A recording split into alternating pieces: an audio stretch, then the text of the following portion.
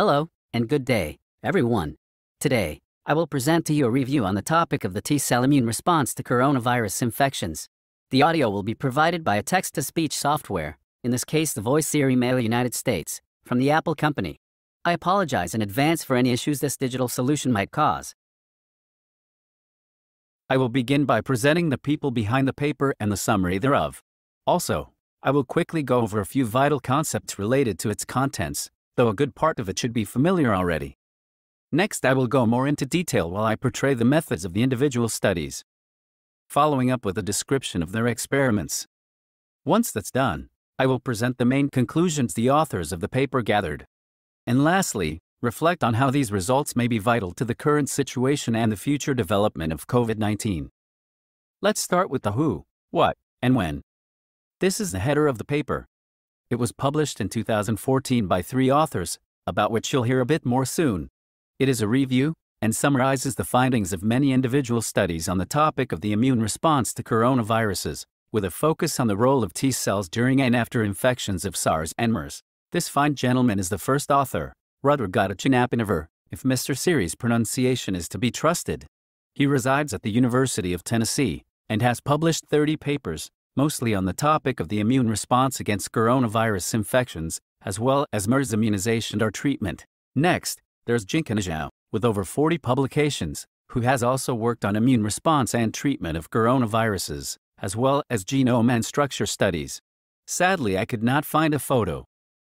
Last but not least, from the University of Iowa, Department of Microbiology and Immunology, Stanley Perlman, with over 150 publications during the last three decades, joining his colleagues.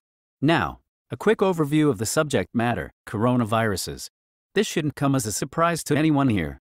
Positive single stranded genome, about 30 kilobases in size, which is quite large for an RNA virus. Members of this family infect many different species, not just bats and humans.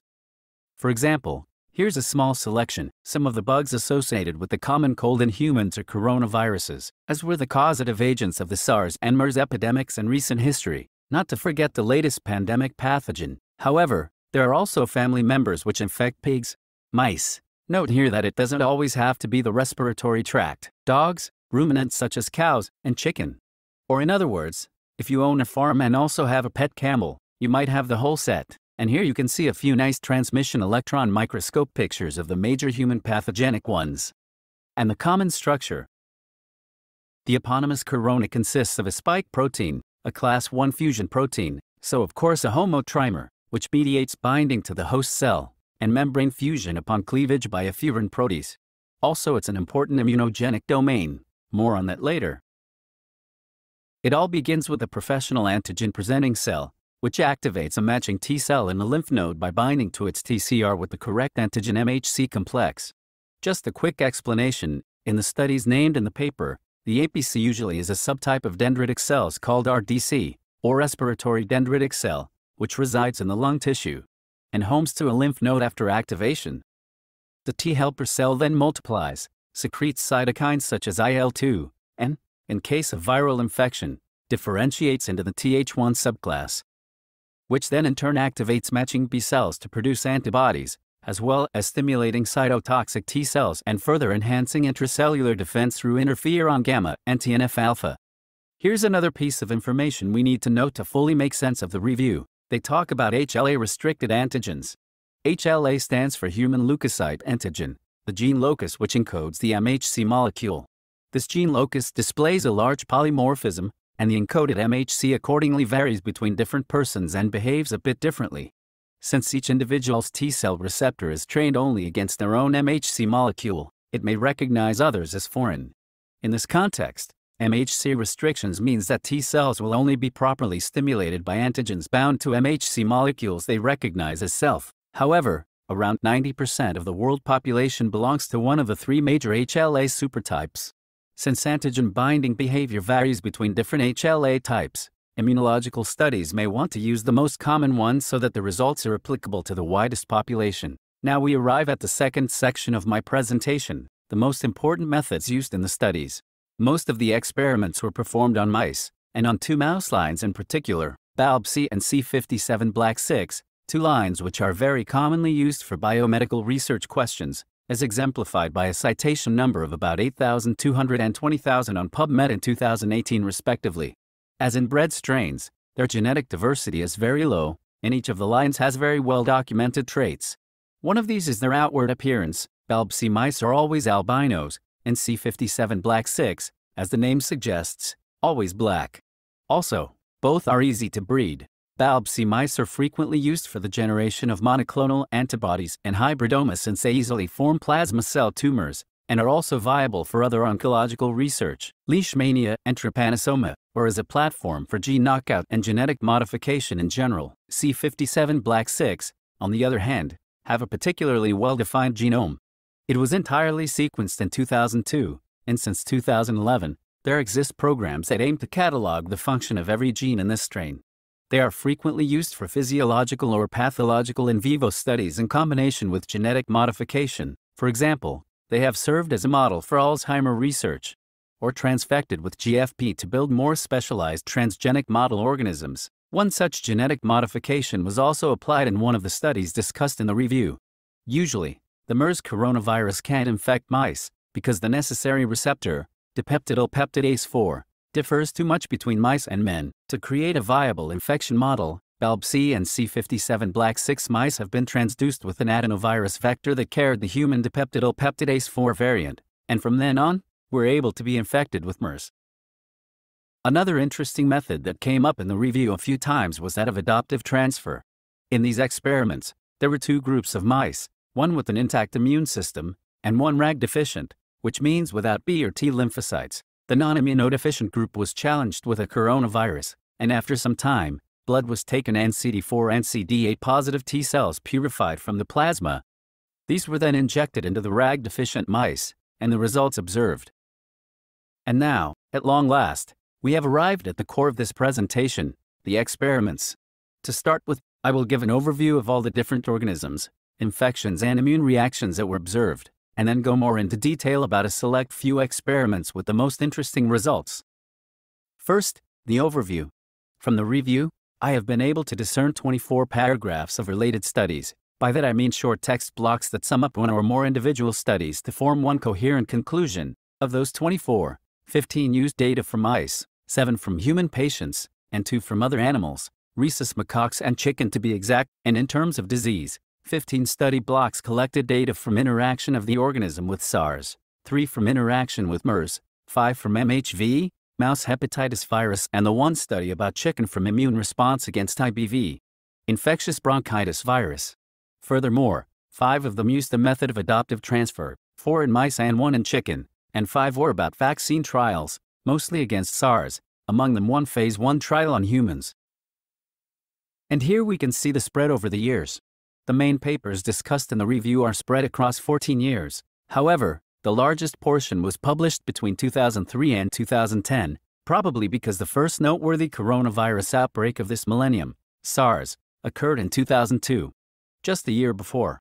Interestingly, there are not as many papers about MERS present as one might expect considering that by the year of the outbreak 2012, SARS was still in public memory and thus a novel coronavirus threat more likely to be picked up quickly considering that it's hard to find articles concerning SARS and MERS, but not COVID 19, as you may have noticed during your own research. One might guess that the frequency of papers is connected to the number of cases and perceived threat. But now back on topic, when considering the immune reaction to a pathogen, we should also look at the immunodominant epitopes, that is, the sequences of the pathogen that are targeted by the immune system the most. Since our topic is viruses, a pathogen that can occur both intracellularly and extracellularly in the body, we should consider both antibodies and MHC molecules as potential receptors for those sequences. Since my review only involves T cells, we'll focus on MHC1 epitopes, which allow cytotoxic T cells to find infected cells, and also a bit on MHC2 epitopes, which may activate T helper cells. The 3D conformation of the antigen doesn't matter much to MHC molecules or T cells, since they interact with short, linear peptides after proteolytic digestion, Nonetheless, I found it interesting to visualize the immune dominant epitopes on a 3D model. Here we have the residues of the HLA-DR restricted epitopes of the spike protein, found in a study of SARS patients in 2006. As we have seen earlier, HLA-DR is part of the locus of the MHC2 protein, and thus interacts with CD4 positive T cells. Keep in mind that a trimer is shown, so the same epitope is also repeated thrice. Here's the epitope that was found on the spike protein of MERS from a study of DPP4 humanized mice from 2014, which used two different mice strains. We can see that the immunodominant epitope may vary quite a bit between different organisms.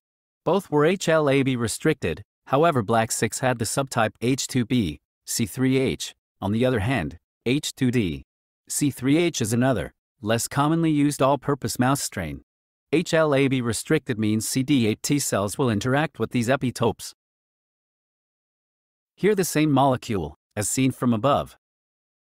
And to complete our corona tour, here are the epitopes found in a study of mice, using the MHV1 coronavirus. This one is a bit more complicated. Again, there are the two mice strains Black 6 and C3H. However, there's both MHC1 and MHC2 involved, so the marked epitopes interact with either CD4 or CD8 T cells.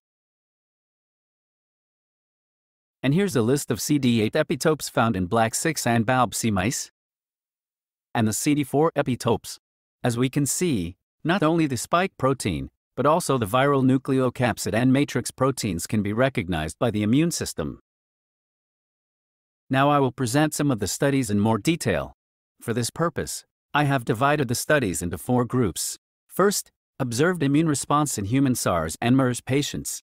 Second, exploration of suitable disease models in mice. Third, investigations as to what constitutes a good or bad host response to different coronaviruses in mice. And fourth, observed successes of experimental SARS vaccines. First, the patients. There were two studies from Chinese hospitals, one about SARS, from 2003, and one about MERS, from 2013. It seems the original SARS paper is in Chinese, so details were hard to come by.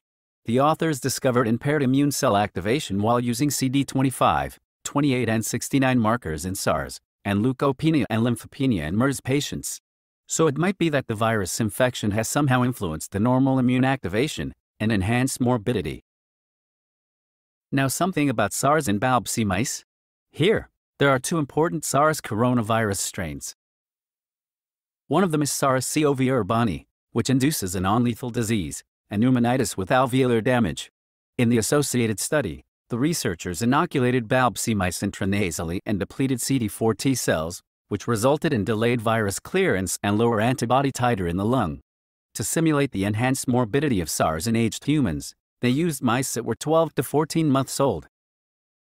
In the second study, the authors used a mouse-adapted MA15 strain, which induces a much more lethal disease, even in young mice, and resulted in a poor immune response, However, this could be improved by depleting inhibitory alveolar macrophages, which enhanced T cell levels in the lung and resulted in better protection.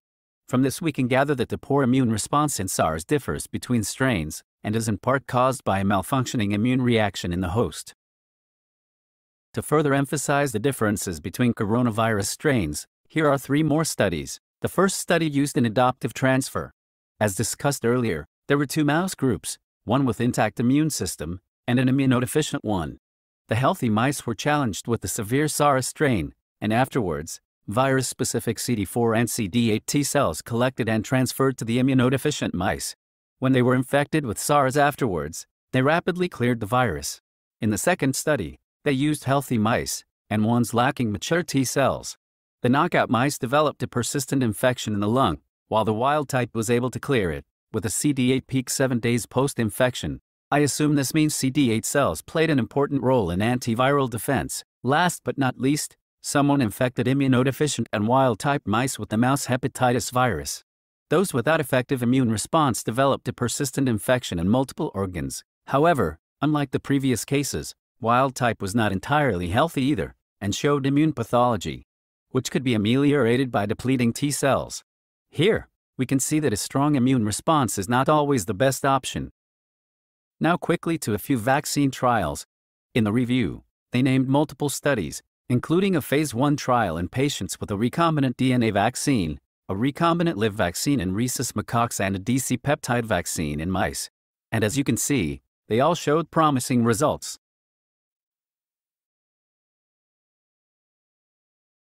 And by now, we have arrived at the final section of the paper review. Here, I want to pose the question What really is an effective immune response? If we are only focused on the disease, we could say, whichever kills the pathogen the quickest, whichever employs the most potent effector molecules, recruits the most cells, and is on a hair trigger.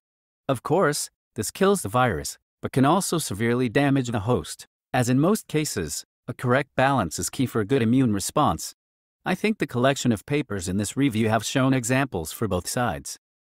And also shown that it can be even more complicated in a biological system and varies between pathogens, and differences can occur even within the same family, or between two mouse strains. Also, I find it very interesting to see all the different kinds of methods the papers have used to modify the outcome of the disease, and would like to summarize them here as well. For starters, there is adoptive transfer. It reminded me of the use of convalescent serum, a term that you tend to hear more often these days, or passive immunization, only that it transfers immune cells instead of antibodies. So far, adoptive transfer for human treatment is mostly in phase 1 or 2 trials, as a form of individual cancer therapy. Of course, the HLA restriction would have to be circumvented before there could be therapies usable by a large part of the population, but maybe advances in cell culture and genetics could one day make it a viable option for treatment of less severe diseases. Then, of course, there are vaccines in all kinds of shapes and forms. The papers discussed mostly focused on recombinant vaccines, either in the form of a DNA vaccine or a carrier virus modified to express a protein from a coronavirus, and have shown that all produce virus specific T cells. Thirdly, a point one of our rational drug design professors would be fond of. New insights into the role of immune cells in diseases can also give us new drug leads to pursue.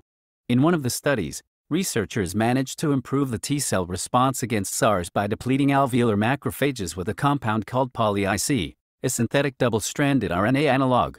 In another, they specifically targeted a receptor on respiratory dendritic cells, called PD1, which in turn upregulates CCR7, and thus their ability to migrate to lymph nodes after activation. In old mice, and probably people as well, the ability of RDCs to migrate is decreased, so an activatory drug might improve the immune response against viruses such as SARS, as it has done in mouse experiments. And now, to end my presentation, I want to shift our attention from the corona epidemics of yesteryear to the pandemic that is affecting every single one of us right now. First, I want to offer some high quality sources of information in case you are interested. To anyone with even a passing interest in virology, I can recommend the podcast This Week in Virology, which I've been listening to since a few months myself. Contrary to most other media outlets, it offers a refreshing depth of knowledge, both from and for scientists, and it's much more manageable than reading the countless papers that are coming out on the topic every day. I will also touch on some of their points from episode 602, which includes a face we've seen already among the earlier slide about the authors. Secondly, one of the authors of this review has given an online symposium about the current pandemic only a month ago, so that might also be worth checking out. This quote exemplifies one of my favorite aspects of science. It's always in development, testing and improving itself, and each study has the potential to be a new building block. The COVID 19 pandemic and SARS CoV 2 may be a recent addition to the world, but it's not the first pathogenic coronavirus we have encountered. The papers discussed in the review have shown that we should examine each virus and its effects on its host separately, but also that similar approaches may have similar results.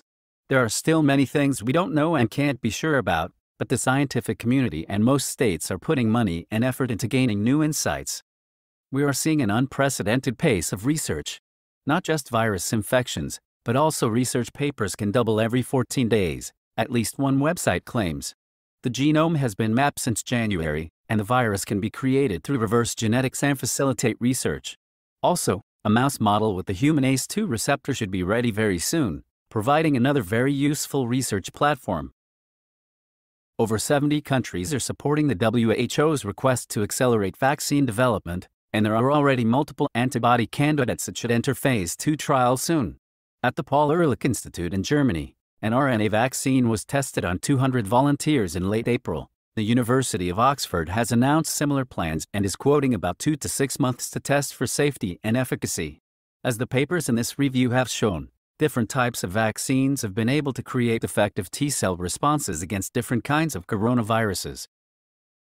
One current issue is that diagnostical tests are still not available in sufficient quantities and are considered unreliable by some. without knowing more exactly how many people are infected, potentially asymptomatically, we also don't know the true infectivity, and, by extent, which herd immunity percentage we need to reach to safeguard the population. Another major concern is that of memory persistence. It still isn't clear how long the memory B and T cells created during a SARS-CoV-2 infection confer protective immunity. For SARS-CoV-1, memory T cells have been discovered 2, 4, 6, and up to 11 years post-infection. However, it's too early to make conclusions about CoV-2. And this concludes my presentation. Dealing with artificial speech and video editing for the first time has been quite the experiment for me, and I hope you are satisfied with the results. These are the sources I've used. Thank you for listening, and stay safe and healthy.